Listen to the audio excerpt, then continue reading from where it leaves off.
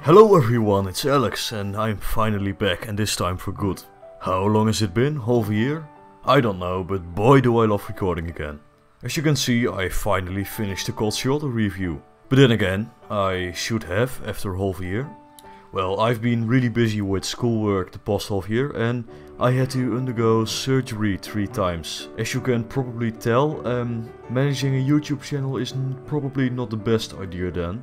But hey, it's all over now and I'm back. With my return to the channel, a lot of things are going to change.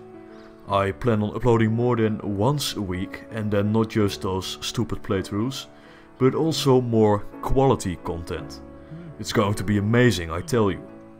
I will also make more Spore Adventure reviews of course, because I really enjoyed making this one, but more info on my new schedule follows within a few days. Anyway, this was my very short update. More info will follow soon. This was Alex, have a great day and see you soon. Bye.